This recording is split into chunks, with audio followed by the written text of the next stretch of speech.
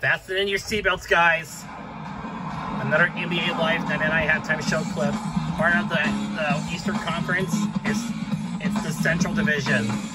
This means the Central Division teams from from Eastern Conference teams from the from Central Division are Atlanta Atlanta Hawks, Atlanta Hawks, Charlotte Hornets, Chicago Bulls, Cleveland Cavs, Cleveland Cavaliers, Detroit Pistons, Milwaukee Bucks, and Toronto Raptors. Yep, Toronto Raptors. Yep, Toronto Raptors. That's what I call it referred to. Now this is the highlights of the 1997-98 NBA season.